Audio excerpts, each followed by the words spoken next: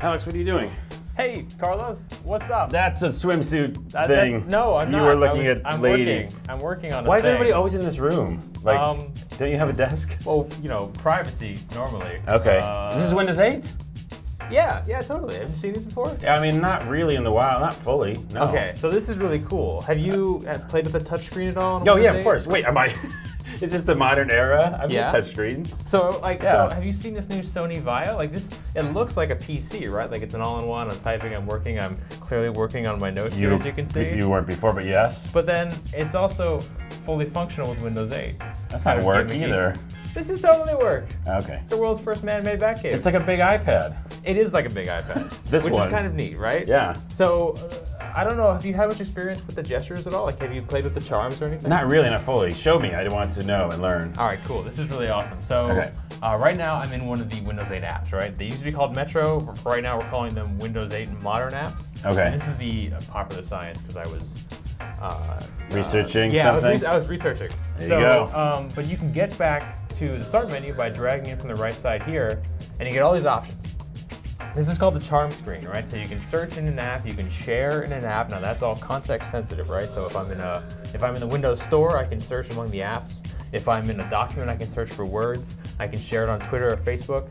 I can also hit the start button, and that'll always take me back here. Oh, nice. Really neat. Yeah. Yeah, this is the colorful thing that I remember seeing a lot of. Yeah, everyone has seen this. Yeah. And uh, you know, it's a lot of fun. It's actually really customizable too. We can talk about that later. You can change where the apps are, you can change different sizes and everything. It's really cool. But I wanted to bring you back here because like this is where the new gesture system really uh, can be seen. So you can drag up from the bottom here, and this is your application menu, right? So Okay. if I was in an app right now, I'd have a bunch of like context-sensitive buttons here, and I can hit this all apps thing in the corner and show all the apps on my PC. Okay. Anytime. Not not the things that are running, just the ones you have installed. Right. Okay. But the ones that are running, I can drag in from the left here off the screen, and I can pull in Oh, okay. Like yeah, your your Word doc and stuff like There's my. Word doc, yeah. And then you can drag in from the top sometimes when you're lucky. It it works like a charm. Oh, yeah. Oh, it- because it, It- charms in it, the thing. It usually does. Here's the big hang up about Windows 8 is like really a lot of the, the touch gestures and stuff are really going to be dependent on the device you own. Yeah, yeah. if you have like a this one here is maybe a little different than another one.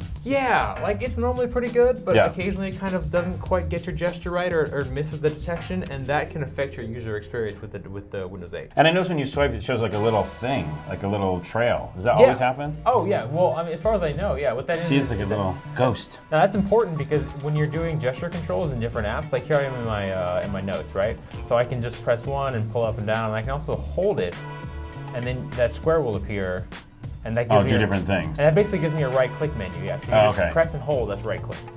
Jump back to the start menu. Charms is such a cute name. It's so I'm gonna get my little charms. yeah, it's so joyful. I'm just like, I'm gonna pull up my charms here My and just scroll through.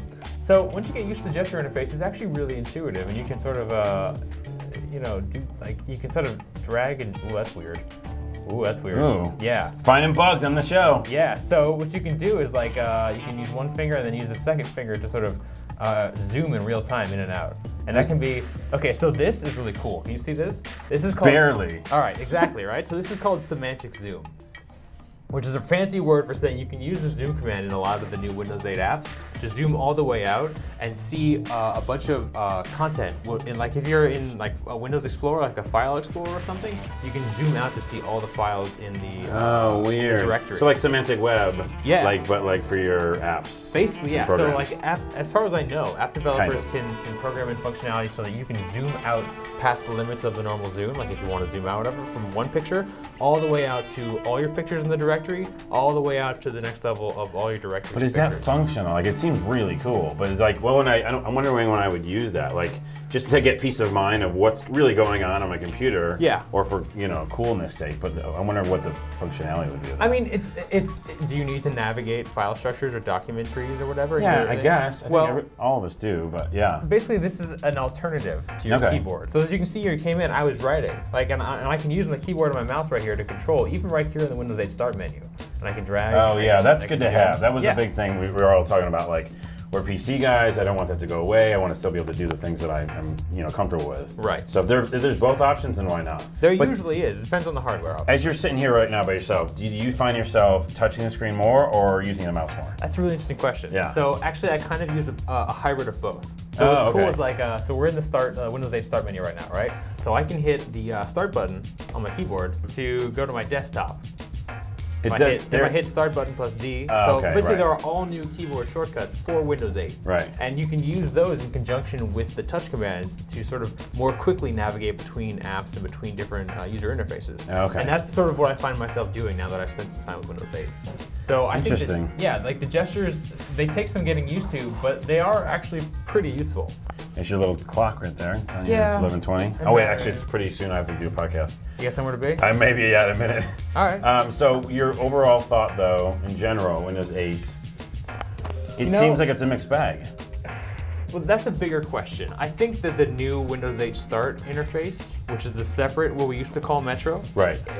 I don't see a reason for that to exist because the desktop is so useful. Yeah. The- but the touch, the touch functionality, the ability to touch the screen and pull down context-sensitive apps, to drag from the right and pull in the pull in the charms, or to, to touch and pinch to zoom in and zoom out and all that kind of stuff. That's really useful. Yeah, And. I'm really finding that helpful. It's actually faster now Yeah. to work than with an old uh, mouse and keyboard only. Interesting. Okay. So I think you know, as long as Microsoft can can make good on the promise of the Windows 8 store and make some really fantastic apps for their old Metro interface, I think Windows 8 could be really good. The store and making sure the device you have does the gestures well, because if Right. it's if it's unresponsive, then that's just going to ruin the whole thing for me. Yeah. So don't be afraid of gestures. They're actually really Don't neat. be afraid. Let's start a campaign. yeah. Alice Carl say, "Don't be afraid of gestures." no fear for gestures. Or charms. Yeah.